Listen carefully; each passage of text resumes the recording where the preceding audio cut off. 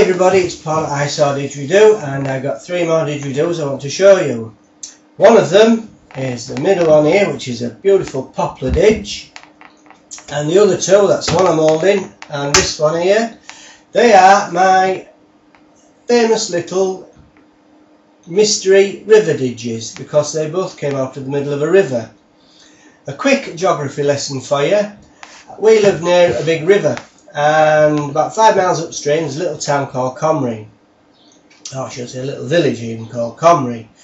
And the same river runs through it. Now every winter this river floods and it is a torrent and I guess it could be sometimes maybe 200 yards wide is this river in certain parts.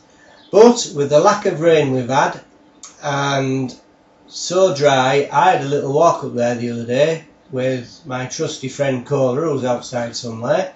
And we dropped down onto the riverbank and walked along and it's just little rivulets and pools and mounds of stones and sand. And it's like that for maybe one and a half two miles. And you walk up through this water. It's maybe two maybe three feet deep in places. But it's so beautiful so peaceful so relaxing and like I say, it's about 200 yards wide at one point is this river. So in winter it must be quite spectacular to see. But like I say, we had a little walk along and we were looking for sticks and I managed to find a couple of washed up pieces of wood that had probably been washed up months and months and months ago, bone dry, barkless, leafless, lifeless. And so I got them and they're here. And one of them is the one I'm just blowing now. I'm tempted to say it could be a piece of sycamore, but I'm not going to hold me hand up to it. But I'm just having a guess. It could be a bit of sycamore because there was a little bit of bark left on this. And so this is it. It is nice big long didge. It's 172 centimetres long. And there you go. And that is a very nice rugged bell. It's, uh, is it? Sort of a chunky lump there. But they mount of the bell is there that way and then it drops down where I've hollowed it out and it, the wood actually twists on itself. It starts there and it sort of goes up and round.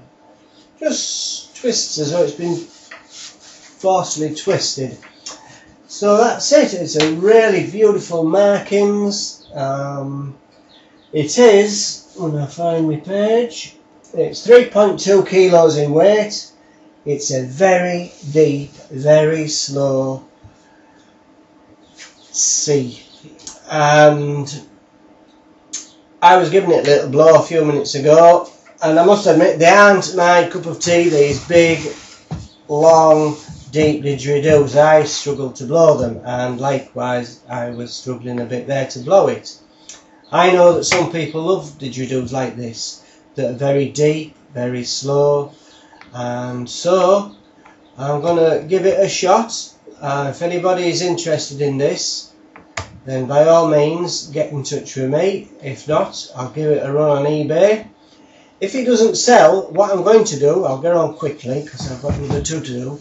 What I'm going to do is shorten it. And what I may do is either just cut maybe a foot off the mouth there or I might just leave the mouth and take about a foot out of the middle and then I joined the two together. And I did it with the Didge once before and it's one of the nicest bits of wood I've got. I'll, I think I put it on YouTube but it's one of the best bits of wood I've got. So anyway so that's it. That's this beautiful nice big mystery river didge and we shall see where we go with it. Like I say I struggle to play it because it's a very deep very slow C right Next one that came out of the river is this one, and this is 4.4 kilos, and look at that. Ugh.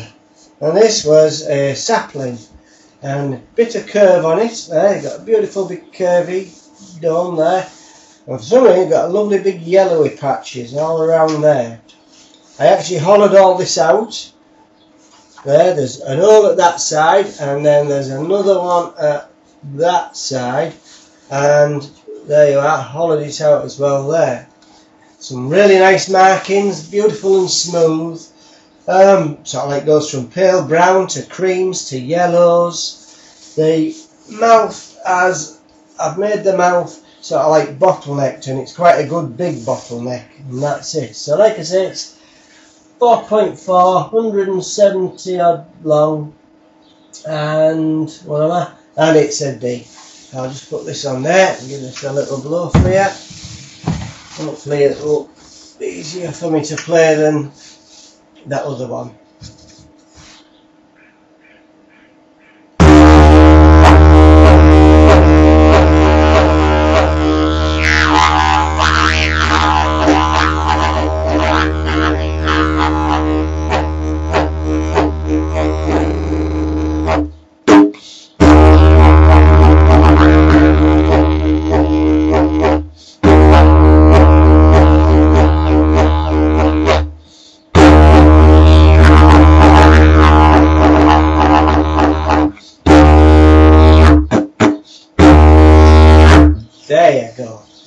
Right, so that is it, and it's a beautiful bit of wood, really is. Solid and so nice. So that's it, Mystery River Didge. I haven't got a clue what it is. Right there. And the last one is one that I made um, a couple of weeks ago, and I did have my eye on this for ages, and I thought, right, nobody about, I'll have you. And it's a piece of poplar. I like to say that because it was on a very popular woodland walk and doesn't look very nice when you stood there with a great big saw hacking at a branch. People think you're trying to chop trees down. So I had to do it quick while there was nobody about. Anyway, I got it here. And this is it. And one of my favourite woods is poplar. And I'll open it up, hold it up. There you go. And it's a beautiful, what I would call a pipe didge. Look at that. It's like a big giant pipe. Got a whopping nice big bell on it. Almost straight shaft to it. And that's it. And this poplar, it bounces between a C and a D. And nearly 4 kilos in weight and 162 centimetres long. If, if you look at that side there, you can see a black line and if I hold it that way then without dropping it. You see another black line. Somebody must have had a go at this before me to try and saw it. Because that was a saw line and that was a saw line there. So try it. Instead of trying to sand them out or hide them I've actually made them stand out more and I've actually given them some stitches. So they look like big war scars. So that's it. So it's a big pipe right now I'll just give this a little blow for you and then we're about done. And like I say, this been bouncing between a C and a D, so I'll give this a go.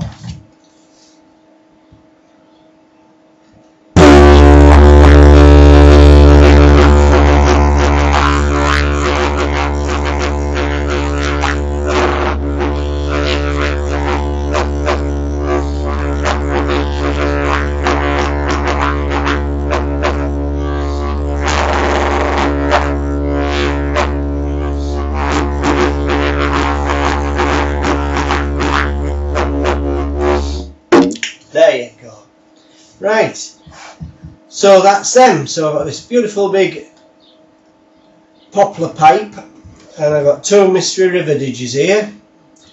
Like I say, the first one um, leaning towards sycamore, very spalted, very rugged, very unusual, but for me, it's not my one to play. I find it too long, too deep, and it needs, I think, somebody who is a into that sort of didgeridooing anyway. The big long deep didgers, I'm sure it would suit somebody to a T. Right, so that's it. And anybody, any comments, any questions, please don't hesitate to get back to me. It's paulisawdidge at gmail.com. Like I say, I shall wait and see if anybody has any private interest. You never know. If not, I shall be probably putting them on eBay and see how we go from there. Thank you very much for watching And that's it. Another glorious day. Bit of rain, bit of sun, bit of didgeridoo making. Couldn't be better. Take care. Good night. God bless.